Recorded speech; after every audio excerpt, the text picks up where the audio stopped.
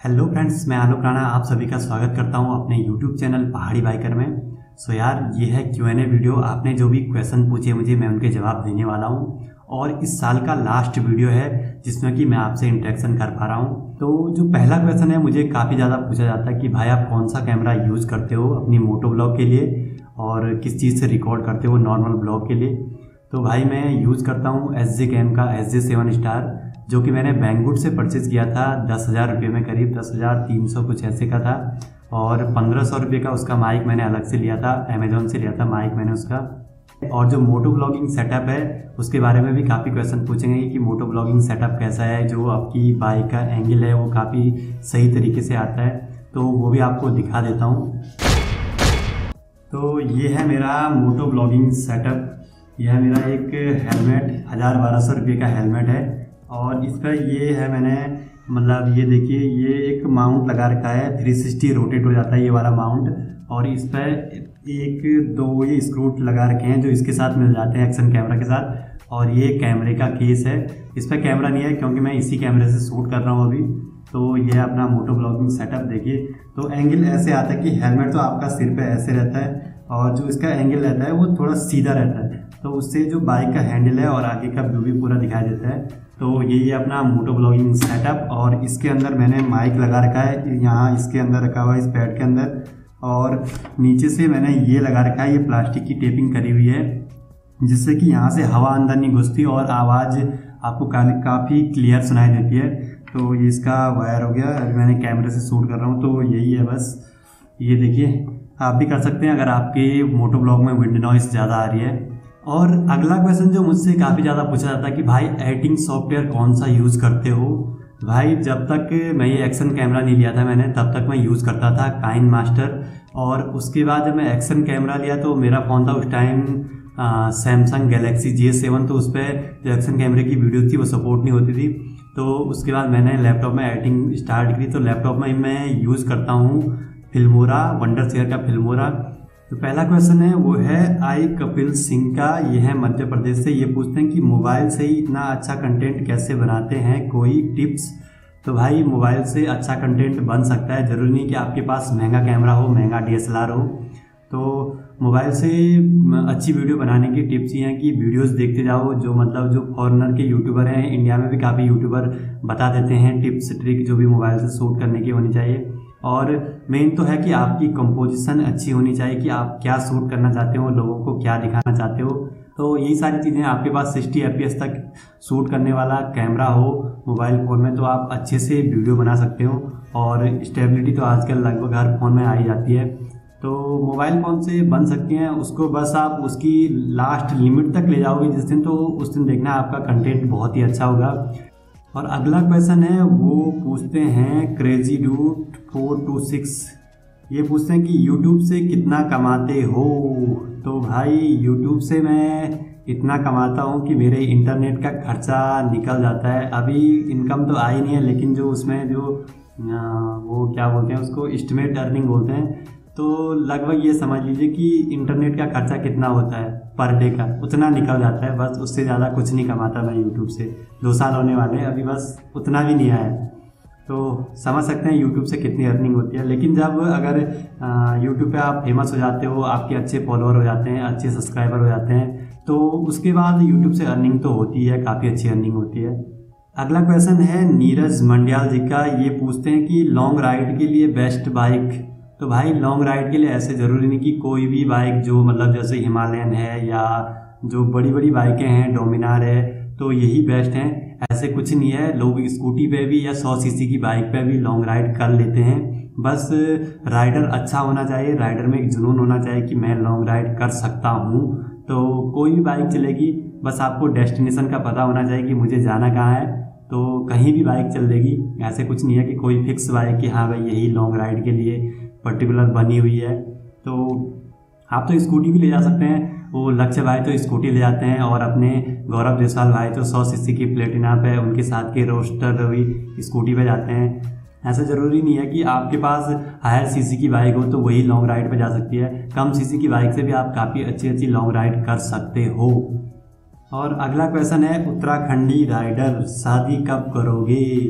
तो भाई शादी करूँगा, जब आपकी शादी होगी उसके दो तीन साल बाद तो मैं भी कर लूँगा। पहले आप ब्यो कर लो, फिर उसके बाद हम भी ब्यो करेंगे। तो यही है, अभी तो कुछ प्लान नहीं है। अभी बहुत काम करना है। शादी तो होती रहेगी। और अगला क्वेश्चन है, मुन्ना खुशवाहा। सॉरी अगर मैं आपका नाम गलत बोल रहा हूँ, क्योंकि इंग्लिश में हो सकता है आप कुछ अलग लिखना चाहते हो, मैं अलग पढ़ रहा हूँ। ये बताते हैं कि आप ये क्वेश्चन पूछते हैं कि पल्सर रियल माइलेज कितना देती है? सही बताना यार, मुझे भी लेनी है। देखो, मुन्ना भाई, आपको बताना चाहूँगा कि पल्सर माइलेज देती है 40 टू 45 का पल्सर 150 और अगर आप बाइक को आराम से चलाओगे 40 टू 60 की स्पीड में चलाओगे तो तब माइलेज मिलेगा आपको 50 तक का 45 टू 50 तक का आराम से मिल जाएगा। और अगला क्वेश्चन है पंकज कुमार 95 का, भाई इतनी लेट क्यों डालते हो ब्लॉग तो सॉरी भाई, पहले तो ब्लॉग अगर लेट आते हों तो बहुत बिज़ी ज़िंदगी है यार कि मतलब काम के साथ साथ वीडियोस बनाना बहुत टफ होता है, फिर एडिटिंग में काफ़ी टाइम लग जाता है तो लेट हो जाते हैं वीडियो और ट्रैवल ज़्यादा नहीं हो पाता, इसलिए भी वीडियोस नहीं आ पाती हैं। तो यही सब है इन फ्यूचर देखता हूँ रेगुलर होने की कोशिश करूँगा। लेकिन कोशिश तो ये रही कि हफ़्ते में एक वीडियो तो आ ही जाए। तो बस ऐसे ही प्यार और सपोर्ट बनाए रखें, वीडियो तो आती रहेंगी। और अगला क्वेश्चन है, उमित पवार जी का, भाई, क्या बाइक गौरीकुंड तक जा सकती है या सोनप्रयाग में ही खड़ी खड़ी करनी होगी? तो भाई, गौरीकुंड तक तो गाड़ी जाने नहीं देते, क्योंकि सोनप्रयाग में जो मेन पार्किंग है, वो सोनप्रयाग में ही है। वहाँ पे आपको पुलिस वाले रोक लेंगे और बोलेंगे कि, पार्किंग में गाड़ी लगाओ। और उसके बाद आगे वहाँ से आपको लोकल जो जीप रहती हैं, जो गाड़ियाँ रहती हैं टैक्सी रहती हैं, उनमें जाना पड़ेगा सोनप्रयाग से गौरीकुंड तक, जिसका कि किराया है बीस रुपये बीस रुपये किराया है। तो सही भी है, वहाँ सोनप्रयाग में पार्किंग में आपकी गाड़ी सेफ़ रहेगी। गौरीकुंड तक मैंने देखी तो थी, कुछ गाड़ियाँ गई तो थी, शायद हो सकता है वो लोकल गाड़ियाँ हों। और अगला क्वेश्चन है, पहाड़ी पैंथर्स। भाई, एक बात थी, आप कैमरे की बैटरी कैसे मैनेज करते हो पूरी राइडिंग में? कि उसकी बैटरी तो बहुत कम चलती है प्लीज़ बताना। तो भाई, आपका ये कमेंट आया था कि जो लेंस डाउन वाली वीडियोस थी तो मैं बताना चाहूँगा कि लेंस डाउन वाली वीडियोस के टाइम पे मैंने काफ़ी कुछ शूट किया था। इतना ज़्यादा शूट हो गया था कि मतलब वीडियोस क्लिप बहुत ज़्यादा हो गई थी एडिटिंग करने में काफ़ी टाइम लग गया था। तो इसमें बात यह कि मेरे पास था दस हज़ार एम का पावर बैंक तो मैंने उसको यूज़ किया था राइड के दौरान, जहाँ पे भी हम रुक रहे थे, मैं अपना एक्शन कैमरा चार्ज पे लगा रहा था। अगला क्वेश्चन है संजय रावत जी का, मेरे भाई, जो तुम बैकग्राउंड में ट्यून डालते हो ना, उसकी जगह गढ़वाली सॉन्ग या उन, उनकी ट्यून लगाओ, मज़ा आएगा, दिल से कह रहा हूँ, बाकी आपकी मर्ज़ी। तो भाई, ये तो मैं भी चाहता हूँ कि अपनी वीडियोस में गढ़वाली ट्यून लगाऊँ, खासकर जो मैंने पहाड़ के ब्लॉग बनाए थे, पहाड़ी ब्लॉग अपने घर के। तो मैंने काफ़ी कुछ देखा यार कि अगर मैं इतनी मेहनत करके वीडियो बनाता हूँ और लास्ट में अगर कॉपीराइट आई तो थोड़ा दिल पे लगती है दिल पे। तो मैंने फिर मतलब गढ़वाली गाने यूज़ नहीं किए और मैंने उनको ऐसे ही नॉर्मल जो बैकग्राउंड एनसीएस म्यूज़िक होते हैं उनको यूज़ किया। तो थोड़ा वही रहता है यार कॉपीराइट का डर रहता है क्रिएटर इतनी मेहनत करता है और लास्ट में कॉपीराइट आ गया तो जो उसकी पूरी अर्निंग है वो उसको चले जाती है जिसका वो म्यूज़िक होता होगा। इसलिए मैं गढ़वाली गाने यूज़ नहीं करता हूँ अपनी वीडियोज़ में। और अगला क्वेश्चन है, नरेंद्र गावले का, सर, आप काम क्या करते हो? जॉब करते हो क्या? हाँ भाई, मैं जॉब करता हूँ और पार्ट टाइम में अपना यूट्यूब का जो वीडियोज़ हैं, वीडियोज़ बना लेता हूँ। जब भी मौका मिलता तो वीडियोज़ बना लेता हूँ। जॉब के साथ साथ थोड़ा टफ हो जाता है, लेकिन फिर भी मैनेज कर लेता हूँ। और अगला क्वेश्चन है, जय ओडिशा का नवंबर फ़र्स्ट वीक में स्नो मिलेगा? चोपता तुंगनाथ वाली वीडियो पे इनका कमेंट आया है।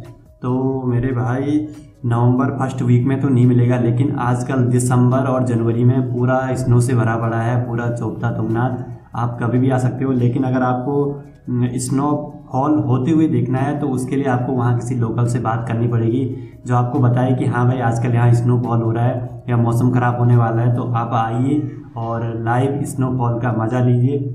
और अगला क्वेश्चन है कॉमेडी चैनल कॉमेडी चैनल भाई, आपकी एक मंथ की अर्निंग क्या है? तो भाई यूट्यूब से पूछ रहे हो कि यूट्यूब से एक मंथ की अर्निंग क्या है, वो मैं बता चुका हूँ कि एक मंथ की अर्निंग है मेरी इतना कि सिर्फ़ जो मेरे नेट का खर्चा निकल सके अभी तक। जिस दिन पहली अर्निंग आएगी, पहली जो इनकम होगी, वो आएगी यूट्यूब से, मैं आपको बता दूँगा कितनी आई है। अगला क्वेश्चन है सुकुमार सरकार जी का। मैं तो जा नहीं सकता, लेकिन भाई आपकी वीडियो देखकर बहुत खुश हूँ। धन्यवाद भाई। तो धन्यवाद मेरे भाई वीडियो देखने के लिए। तो मैं यही चाहता हूँ कि लोग मेरी वीडियो देखें और उनको फील हो कि वो भी उस जगह पे जा रखे हों। और ये मेरे लिए काफ़ी अच्छी बात है कि मैं लोगों को कनेक्ट कर पा रहा हूँ उस जगह से जहाँ मैं जाता हूँ अपनी वीडियो के थ्रू और अगला क्वेश्चन है, संजीव कुमार जी का। ये पूछते हैं, भाई, हरिद्वार से चोपता कैसे आए और वहाँ रहने के क्या इंतज़ाम हैं? होटल है कि नहीं? प्लीज़ टेल मी मुझे जाना है तुंगनाथ। तो मेरे भाई, आपका जो क्वेश्चन है कि हरिद्वार से चोपता कैसे है हरिद्वार से चोपता की कोई गाड़ी नहीं लगी रहती है। हरिद्वार से उखी मठ की आपको एक बस मिलेगी। वो शायद हरिद्वार से दस बज के बीस मिनट पे रास्ता लगती है और उखी मठ पहुँचती है करीब पाँच या छः बजे, क्योंकि मैं भी उस बस में आया हूँ एक बार, और उखी मठ वो डायरेक्ट मनसुना तक जाती है हमारे गाँव तक। तो उखी मठ तक आप उसमें आ सकते हो और उखी मठ एक दिन स्टे कर सकते हो और अगले दिन उखी मठ से या तो आप गाड़ी बुक करके ले जा सकते हो, या वहाँ अगर कोई दूसरा यात्री जा रहा तो क्या पता कोई गाड़ी वाला जा रहा तो उनसे पता करके रहना कि वहाँ से कोई जा रहा हो तो मैं भी चले जाऊँगा आपके साथ। तो ऐसे बात करके आराम से आप चोपता तुंगनाथ पहुँच सकते हो। और होटल तो उखी मठ में भी हैं और उखी मठ से थोड़ा आगे चोपता वाली रोड पे भी हैं ही काफ़ी होटल तो आपको होटल की भी कोई दिक्कत नहीं होने वाली है। और अगला क्वेश्चन है, वो है नवीन कुमार नदी गोटू। तो सॉरी अगर आपका नाम गलत बोल रहा हूँ मैं तो ये बोलते हैं स्पीक इन इंग्लिश सॉरी भाई, मेरे को इंग्लिश नहीं आती है। बोलनी नहीं आती है मतलब थोड़ा बहुत बोल लेता हूँ, लेकिन उतनी अच्छी नहीं है मेरी इंग्लिश बस समझ लेता हूँ और लिख लेता हूँ, पढ़ लेता हूँ, बस बोलने नहीं आती। उसी की प्रैक्टिस करनी है 2020 में। आई होप कि मैं इस पर भी काफ़ी काम करने वाला हूँ, कि अपनी इंग्लिश को इम्प्रूव करूँ। पहाड़ में ये होता है ना कि पहाड़ का जो मतलब जो पढ़ाई है वो पूरी हिंदी मीडियम में होती है अब यहाँ की स्कूलों में। तो हमारी इंग्लिश थोड़ा कमज़ोर तो रहती है, लेकिन इस साल मैं काफ़ी कोशिश करूँगा 2020 में अपनी इंग्लिश को इम्प्रूव करने की। और अगले साल की वीडियो में आपको इंग्लिश बोल के दिखाऊँगा। कोशिश करूँगा। और अगला क्वेश्चन है, सुनील कुमार जी का ये पूछते हैं, भाई, पहाड़ों में पल्सर बढ़िया चलती है क्या? तो हाँ मेरे भाई, पल्सर पहाड़ों में काफ़ी अच्छी चलती है। पल्सर 150 है मेरे पास और मुझे आज तक कोई ऐसी दिक्कत नहीं आई कि पहाड़ों में न चढ़ पाई हो कहीं।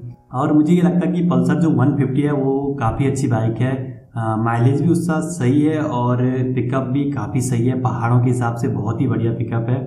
न न तो ज़्यादा पावर है ओवर पावर है और नहीं ज़्यादा कम है। सही मतलब बीच की पावर है। आप मतलब काफ़ी अच्छे से उसको राइड कर सकते हो पहाड़ों में। और अगला क्वेश्चन है आशीष ब्लॉग्स दिल्ली का।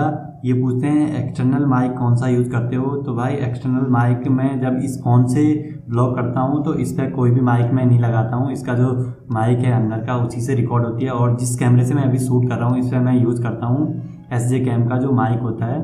तो वो मैंने अमेज़ोन से परचेज़ किया था। वो आपको अमेज़ोन पर कहीं भी मिल जाएगा। तो वही माइक यूज़ करता हूँ। कोई ज़्यादा महँगा माइक नहीं है। पंद्रह सौ का माइक आता है। ठीक ठाक काम कर लेता है, साठ, सत्तर, अस्सी की स्पीड तक तो काफ़ी अच्छी आवाज़ रिकॉर्ड करते हैं, लेकिन उससे ऊपर थोड़ा विंड नॉइस आ जाती है। लेकिन इसमें ऐसे कैम में इतना ही काफ़ी है। और अगला जो क्वेश्चन या सजेशन या कुछ इन्होंने अपने दिल की बात कही है, सौरभ रोहतान जी हैं। ये पूछ, ये बोलते हैं कि ब्लॉगिंग तो सब कर दिन पर गढ़वली माँ कोई नहीं कर दो, इले अब गढ़वली माँ भी करिए तुम ब्लॉगिंग स्वाद देगी वीडियो मत तो बहुत बहुत धन्यवाद मेरा भेजी सौरभ रोहतान जी। तो ये जो कि गढ़वाली में यहाँ से निकल तुम्हें ब्लॉग की, गढ़वाली सब तो समझ नहीं होनी। और जो मेरे जो लोग पल्ली में जुड़ा काफ़ी लोग हैं, जो हिंदी जानता खाली इंग्लिश जानता गढ़वाली में भी ज़्यादा वीडियो बनाओ तो बोला कि यार ये क्या दिन चाहिए हम ये तो हिंदी वाला ब्लॉग जो अपना ही था पहले गढ़वाई में बनाओ। गढ़वाई हम लोग आप लोग मत चले पर चलना कि सिलवा बना लिया। तो समझ नहीं होने से देखने नहीं मैं वीडियो। तो तभी मैं ज़्यादा नहीं बनाऊँ। सो मीन खाली यो मतलब एक्सपेरिमेंट करना होता यो यो ब्लॉग बनाए छो गढ़वाली में। अभी देख लो, और ब्लॉग भी ब्लॉग कभी देख लो इन फ्यूचर अगर बतो मतलब बनाने हो तो आप लोग तो बता चलो, आप लोग तो दिख जाओ यूट्यूब पर। तो बढ़िया रहे चैनल दगड़ी तो यूँ का कमेंट पर तीन लाइक भी मतलब लोग तो ये चीज़ बढ़िया लगे गड़बड़ी में ब्लॉग बनाओ तो बहुत बहुत धन्यवाद वीडियो देखना था और अगला क्वेश्चन है क्रिकेट 360 भाई 150 को कितनी देर तक लगातार चला सकते हैं ताकि बाइक का ईंधन ओवर हीटिंग ना हो? तो भाई ओवर हीट होगा तो आपको अंदाज़ा लग जाएगा कि बाइक मतलब पिकअप नहीं पकड़ेगी, मेरे साथ हो चुका है एक बार। क्योंकि मैंने पीछे से दो आदमी बिठा रखे थे और चढ़ाई पर जा रहा था, बल्कि यहाँ से पौड़ी गया था मैं। तो चढ़ाई पर था और काफ़ी वेट था गाड़ी में। तो मुझे एक दो जगहों पे ऐसे लगा कि गाड़ी अब चढ़नी बंद हो गई है। और गाड़ी के इंजन पे जैसे हाथ लगाया तो बहुत ज़्यादा गर्म हो रखा था इंजन। तो मुझे उस दिन लगा कि ओवर हीट होती है तो मुझे मतलब गाड़ी चढ़ती नहीं है फिर उसके बाद। लगता है कि गाड़ी में पावर कम हो रही है। तो मैंने इंजन पे हाथ लगाया तो बहुत ही गर्म हो रखा था। ओवर हीट का ऐसा है कि अगर गाड़ी आपकी सही स्पीड पे चल रही है, साठ, सत्तर, अस्सी नॉर्मल स्पीड पे तो आप 100 डेढ़ सौ किलोमीटर तक तो आराम से चला सकते हो। लेकिन उसके बाद आपको भी देखना पड़ेगा कि यार गाड़ी का इंजन ओवर हीट ना हो, क्योंकि पल्सर में तो कहीं पे कोई मीटर दिया नहीं रहता कि ओवर हीट का कोई साइन कुछ नहीं दिया रहता तो उसको आपको अपने हिसाब से देखना पड़ेगा। और एक कमेंट आया था, दीपक, इस वीडियो में काफ़ी सुधार है वॉइस और सिनेमेटोग्राफी में आगे और सुधार करें। बिल्कुल मेरे भाई, दीपक भाई वॉइस और वॉइस और सिनेमेटोग्राफी यही तो दो मेन चीज़ें हैं कि जिससे लोग अट्रैक्ट होते हैं आपकी वीडियो की तरफ़। इनका कमेंट आया था चंद्रबदनी वाली वीडियो पे मैंने एक मतलब वहाँ की इन्फॉर्मेशन दी थी एक शॉर्ट वीडियो में। तो पहले तो बहुत बहुत थैंक यू आपने मेरी वीडियो देखी और मैं ज़रूर अपनी वॉइस क्वालिटी और सिनेमेटोग्राफी में इम्प्रूवमेंट करूँगा क्योंकि मुझे भी लगता है काफ़ी कुछ चीज़ें चीज़ें अभी सीखनी बाकी हैं। तो आपके सजेशन के लिए बहुत बहुत थैंक यू और अगला क्वेश्चन है मोहित नैनवाल जी का भैजी घोर कोच आपो भैजी घोर मेरे छाओ उखीमाट से जरा सा अग्निजान मन सुने तरफ़ उखीमाट पे करेक्ट पाँच किलोमीटर दूर पर। पिलौजी परवड़ी गुंकुन हो में गिरिया घर से मेरे उखीमाट मन सुने तरफ़ और रौनो भी छुआ भी श्रीनगर श्रीनगर गढ़वाल में। और अगला क्वेश्चन है, बिमल रावत जी का, भाई, गढ़वाली में किले नहीं बोलते तुम। तो भैजी, मैं गढ़वाली में ये नहीं बोल दो कि गढ़वाली सब तो समझ नहीं होनी होते। और जो मेरे गिल वो जुड़ाने से ने भेरा तो तो गढ़वाली समझ नहीं वाला तो मेरी वीडियो की दियो तब मैं आंसर कि यार, गढ़वाली मत हम तो डेली बात कर रहे थे पर ये कि हिंदी में वीडियो बना तो सब तो समझ रहा तो ऑडियंस काफ़ी ज़्यादा दूर तक ये वजह लिखे कभी कभी बीच में गढ़वाली में लोग भी बना रहा था चैनल तक बड़ी आ रहा ऐसी भी दिखाना था मेरे आप लोग तक तो बहुत बहुत धन्यवाद वीडियो देखना था और अगला क्वेश्चन है R T G club R A N T H है राथी तो इनका क्वेश्चन है कि तुम्हारा व्हाट्सएप नंबर दो भाई जी नाइस वीडियो तो मेरा व्हाट्सएप नंबर लिख लीजिए आप भी eight one nine one zero two five six seven three यहाँ स्क्रीन पे आ रहा होगा। तो ये सिर्फ़ व्हाट्सएप नंबर है इस पर कॉल नहीं होगी और सिर्फ़ व्हाट्सएप खुला है और ये नंबर कभी भी बंद बंद हो सकता है इसका कोई भरोसा नहीं क्योंकि मैं काफ़ी टाइम से इसको यूज़ नहीं कर रहा हूँ। लेकिन इस फ़ोन पे मैंने आ, अपना जो पर्सनल नंबर है और उस नंबर का व्हाट्सएप दोनों खोला रखा है। तो आप उस पर मैसेज कर सकते हैं या मेरे से कुछ बातें कर सकते हैं जो भी है। और अगला क्वेश्चन है, भंडारी बीरबल जी का भैजी ग्वालदम थराली की तरफ़ भी जाओ, कभी उधर की खूबसूरती को भी दिखाओ अपनी वीडियोस में। तो भैजी मैं कोशिश करूँगा कि पूरा उत्तराखंड एक बार एक्सप्लोर कर लूँ। तो जब भी टाइम मिलेगा, मैं अपने नज़दीक की पहले जगहों को एक्सप्लोर अच्छे से कर लूँ। उसके बाद थोड़ा आगे जाने की सोचूँगा।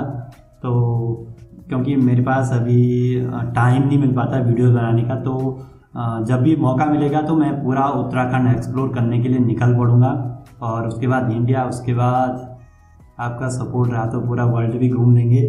तो ऐसे ही प्यार और सपोर्ट बनाए रखें, ज़रूर आएँगे ग्वालम थराली की तरफ़ भी। और अगला जो क्वेश्चन है वो है यू, नितिन सेमाल जी का। यूट्यूब पर शुरुआत करने से डर रहा हूँ। मेरे भाई, डर किस चीज़ का है? यहाँ कोई ऐसे नहीं है कि आप मतलब आए और आपको सक्सेस नहीं मिलेगी, ऐसे तो हो नहीं सकता। अगर आप सच्चे दिल से और मेहनत करके वीडियोस बनाओगे और काफ़ी टाइम दोगे यूट्यूब को तो एक ना एक दिन आप यूट्यूब पे सक्सेस कर जाओगे। और एक चीज़ बताना चाहूँगा कि इसको फुल टाइम कभी भी मत लेना स्टार्टिंग में, क्योंकि आप कुछ ना कुछ और काम करते रहिए और यूट्यूब को part time as a hobby इसको लीजिए और एक मतलब आपका जो पैसन होना चाहिए वीडियोज़ बनाने का, उसको अपने अंदर लाइए। और आप अच्छी वीडियो ऑब्वियसली बना ही लोगे और उसके बाद सक्सेस होने से आपको कोई नहीं रोक सकता यूट्यूब पे। लेकिन पहले थोड़ा टाइम तो लगेगा ही। तो स्टार्ट कर लीजिए सोचना क्या है मेरे भाई? स्टार्ट कर लीजिए इसमें कोई दिक्कत वाली बात नहीं है। और अगला क्वेश्चन है, वो है नमस्ते पहाड़ ब्लॉग के लिए। क्या ज़रूरी है आपके अंदर का वो स्पार्क जो लोगों को पसंद आए? Editing gadgets way of talking देखिए मेरे भाई, ये सारी चीज़ें लोगों को पसंद आनी चाहिए, तभी आपके ब्लॉग चल पाएँगे। आपका बोलने का तरीका सही होना चाहिए, कम बोलें और लोगों को अच्छे से समझ आ जाए जो आप उनको बताना चाहते हो। तो और गैजेट की बात की आपने, गैजेट ज़रूरी नहीं आपके पास महँगा कैमरा हो, उससे कुछ नहीं होता मेरे भाई, एक फ़ोन होना चाहिए जिसमें ये कैमरा होना चाहिए, और इससे भी आप काफ़ी अच्छे अच्छे वीडियोस बना सकते हो। तो और अगला बोला इन्होंने, एडिटिंग। एडिटिंग मेरे भाई सबसे इम्पोर्टेंट है एडिटिंग एडिटिंग आप जितनी अच्छी करोगे, लोगों को वीडियो देखने में उतना अच्छा मज़ा आएगा. एडिटिंग की काफ़ी टिप्स एंड ट्रिक हैं जो यूट्यूब पे काफ़ी क्रिएटर बताते रहते हैं. उनको देखिए और देखिए कि मोबाइल फ़ोन से भी कितनी अच्छी अच्छी वीडियोस बन सकती हैं. और अगला क्वेश्चन है, वो पंकज कुमार 95 इनका ही है, भाई, आपके यहाँ पर स्नोफॉल होता है क्या? तो भाई, मेरे घर में स्नोफॉल लास्ट हुआ था 2005 में करीब. तो उसके बाद तो स्नोफॉल होगा नहीं। थोड़ा ऊपर तक आती है, आधा किलोमीटर, एक किलोमीटर ऊपर तक, और उससे नीचे नहीं आती है स्नो क्योंकि अब थोड़ा टेम्परेचर भी बढ़ गया है। लेकिन हमारे घर के चारों ओर जो पहाड़ रहते हैं, उन पर पूरी बर्फ़ पड़ी रहती है। तो ये चीज़ अच्छी है, हमको बर्फ़ देखने को मिल जाती है। और अगला क्वेश्चन है कूल पहाड़ी ब्लॉगिंग के लिए कौन सा कैमरा यूज़ करते हो? तो मेरे भाई ब्लॉगिंग के लिए मैं ये फ़ोन यूज़ करता हूँ रेडमी नोट सिक्स प्रो इससे भी ऐसे ब्लॉग कर देता हूँ। और जिस कैमरे से आप अभी मेरी वीडियोस देख रहे हैं, ये मैंने केदारनाथ वाली वीडियोस, केदारनाथ वाली जो ब्लॉगिंग थी उसमें पूरा यूज़ किया था। और इस पर एक सेल्फी स्टिक लगाई थी जो मैंने केदारनाथ के रास्ते में पाई थी ऊपर जाते टाइम तो इस सेल्फी स्टिक ने मेरा बहुत काम आसान कर दिया। काफ़ी वाइड वाइड व्यू आने लगा था इससे। तो यही सब है। और अगला क्वेश्चन है, वो है, एक यूट्यूबर मोटिव कैसे हो सकता है? अपना एग्ज़ाम्पल दे के समझाओ। एक यूट्यूबर मोटिव आप शायद ये कहना चाहते हो मोटिवेटेड कैसे रह सकता है? मोटिव तो ये हुआ कि दूसरे को मोटिवेट करना। तो वो तो अलग चीज़ है, लेकिन मोटिवेटेड कैसे रह हो सकता है? अपना एग्ज़ाम्पल दे के समझाओ। मोटिवेटेड तो ये कहना चाहते हो कि भाई व्यूज़ नहीं आ रहे सब्सक्राइबर नहीं बढ़ रहे तो आदमी मतलब होता ही है कि भाई यूट्यूब पर इतनी मेहनत कर रहा है, क्योंकि वीडियोज़ बनाना आसान नहीं होता है एडिटिंग का एडिटिंग में काफ़ी टाइम लग जाता है। तो स्टार्ट करिए, काफ़ी अच्छे तरीके से वीडियोस बनाइए, लोगों को अच्छी चीज़ें दिखाइए। तो यूट्यूब आपको, आपकी वीडियो को आगे आगे सजेस्ट करेगा, अच्छी वीडियो होगी तो आपकी वीडियो ग्रो ज़रूर करेगा और आपका चैनल काफ़ी अच्छा चलेगा। तो इसमें एग्ज़ाम्पल देने की मोटिवेटेड ऐसा है कि यार कि उन लोगों को देखो ना जिन्होंने दो दो, तीन तीन, चार चार सौ वीडियो बना ली और फिर भी उनके सब्सक्राइबर कम है, लेकिन वो फिर भी वीडियोस बनाते रहते हैं। और इस पर रेगुलर होना भी एक इंपॉर्टेंट बात है। अगर आप रेगुलर हैं यूट्यूब पे तो आपको सक्सेस होने से कोई नहीं रोक सकता। और मेरे को भी काफ़ी टाइम बीच में लगा कि बस यार ये यूट्यूब छोड़ दूँ, बंद कर दूँ। लेकिन मेरे साथ कुछ ना कुछ ऐसे होता रहा कि मतलब मैं यूट्यूब बंद नहीं कर पाया। क्यों मैं मतलब इस साल के स्टार्टिंग में मैंने जब वीडियोस बनाना शुरू किया था, मैंने कहा था, यार, मैं इस बार अच्छी एडिटिंग सीखूँगा, अच्छी एडिटिंग करूँगा। तो मैंने इंप्रूवमेंट भी किया एडिटिंग में, बोलने के तरीके में भी काफ़ी इंप्रूवमेंट हो चुका है अभी। और बीच में मुझे लगा कि बस यार, अब यूट्यूब छोड़ ही देता हूँ। तो फिर उसके बाद मेरी एक वीडियो चली जो क्लच कंट्रोल वाली है, उस पर काफ़ी अच्छा रिस्पॉन्स आया लोगों का। तो उससे ही मेरा जो वॉच टाइम है, वो बढ़ा। चैनल पे सब्सक्राइबर आए, चार हज़ार घंटे का वॉच टाइम भी कंप्लीट हुआ। और साथ ही साथ उसी टाइम जो पांडवास का गिव अवे था, उससे मैंने गिम्बल भी जीता। तो उससे थोड़ा एक मतलब मेरे को पीछे से मतलब धक्का मिल गया कि हाँ भाई तो अच्छा काम कर रहा है। तो मैं लगा रहा यूट्यूब पे वीडियोस बनाने पे, और उसके तुरंत बाद मेरा मोनेटाइजेशन भी इनेबल हो गया। सारी चीज़ें स्मूथली चलती रही तो उसके बाद थोड़ा आदमी को मतलब उसमें अच्छा लगता है कि वीडियोज़ यार चलो बनाते रहते हैं, क्योंकि अगर नहीं बनाओगे तब तो कुछ होने वाला है नहीं। अगर बनाते बनाते मतलब कुछ काम हो रहा है तो क्यों ना बनाई जाए वीडियो अच्छी तरीके से। तो यही सब चीज़ें हैं, वीडियोस बनाते रहो, ये मत सोचो कि सब्सक्राइबर नहीं आ रहे व्यू नहीं आ रहे, वो तो आ ही जाएँगे अगर आप अच्छा काम करोगे तो। तो थैंक यू वीडियो देखने के लिए मेरे भाई। और अब हैं कुछ सजेशन जो काफ़ी काफ़ी सब्सक्राइबर भाई लोगों ने मेरे को दिए हैं। ये है Nitin Negi seventy one question तो नहीं है बट आपकी वीडियो देखने, देखना अच्छा लगता है। थैंक यू मेरे भाई वीडियो देखने के लिए ऐसे ही प्यार और सपोर्ट बनाए रखें, अपने दोस्तों के साथ शेयर करें। तो बस यही कहना चाहूँगा। और अगला है नितिन सेमवाल क्वेश्चन तो कुछ नहीं है इसी तरह की वीडियो बनाते रहो मेरे भाई। थैंक यू मेरे भाई वीडियो देखने के लिए। आप मेरे को पता है कि आप बहुत पहले से मेरी वीडियोस देखते हो। और मेरे को पता है कौन लोग मेरी वीडियोस देखते हैं, कौन लोग कमेंट करते हैं, कौन लोग हमेशा वीडियो को लाइक करते हैं। क्योंकि लग जाता है आइडिया कौन लोग वीडियो देखते हैं। तो हाँ भाई मैं ऐसी वीडियो बनाते रहूँगा। आई होप 2020 में भी काफ़ी अच्छी अच्छी वीडियोज़ आएँगी। आप ऐसे ही प्यार और सपोर्ट बनाए रखें। तो यार ये सब थे इस साल की लास्ट क्यू एन ए के वीडियो आई होप कि आपको जो क्वेश्चन है, उनके जवाब काफ़ी अच्छे तरीके से दिए होंगे। मैंने आपको समझ आए होंगे क्वेश्चन के जवाब। ये भी आपका और मेरा लास्ट इंट्रैक्शन वीडियो है इस साल का। इसके बाद एक वीडियो बनाया है मैंने। वो वीडियो पूरा तैयार है और वो है 2019 का रिवाइंड पूरा जनवरी से लेके दिसंबर तक की मैंने जितनी भी वीडियोस बनाई, उनके एक बस शॉर्ट क्लिप और एक म्यूज़िक के साथ उनको सिंक्रोनाइज करके बस दो तीन मिनट की, तीन मिनट की क्लिप बनाई है। वो आएगी आपकी इकतीस तारीख या तीस तारीख। देखूँगा, जिस दिन भी अगर मन करेगा, उस दिन उसको पब्लिश कर दूँगा। तो बस यार, आज की वीडियो को अभी यहीं पे क्लोज करते हैं। मैं आलोक राणा, मिलता हूँ आपसे अगली नई वीडियो में। अगले साल, इस साल एक वीडियो आएगी अभी, लेकिन उसमें मैं आपको दिखूँगा नहीं, बस पुरानी यादें होंगी उसमें। तो मैं आलोक राणा, मिलता हूँ आपसे अगली नई वीडियो में। तब तक के लिए राइट से जय हिंद, जय उत्तराखंड। और आपको पहले से एडवांस में साल 2020 की बहुत बहुत शुभकामनाएँ और ऐसे ही प्यार और सपोर्ट बनाए रखें।